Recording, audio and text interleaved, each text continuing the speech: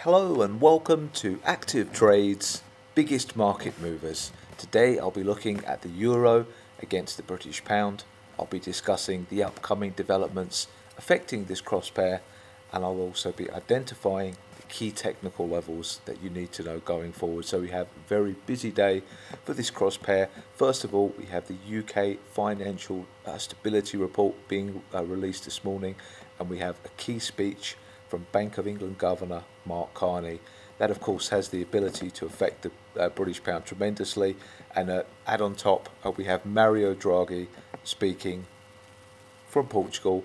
And later on, uh, towards the end of the European session, we have Janet Yellen speaking in London on the global economy. So uh, you can see there'll be some good two-way action on the euro against the British pound today. If we have a look at the key technical levels, I've drawn a Fibonacci retracement from the 82.90 low all the way up to the uh, high which was set at 92.70 at the moment we're trading slightly above the 50% retracement around the 87.80 and the euro against the British pound cross pair has been a difficult sell although it has uh, been unable to uh, pierce uh, this level around the 88.46 to 50 it's been uh, rejected quite a few times there. So at the moment, we're in a limbo between that 87.80 to that uh, 88.45 to 50 region. I think a break below or above on a sustained basis will create, I think, uh, a, uh,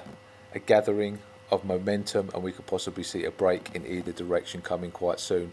Uh, uh, the ranges are getting tighter, so I do feel that um, a breakout will be likely soon. If you have a look to the key technicals to the upside, uh, the 61.8 retracement is at 88.95 and above there you have the 90.60 78.6 retracement. To the downside, if we start to trade uh, below that 50% retracement at 87.80, look for a further decline towards the 86.64 and then the 85.21 which is the 23.6 Fibonacci retracement. Thank you very much. This has been ActivTrades biggest market movers and ActivTrades offers negative balance protection.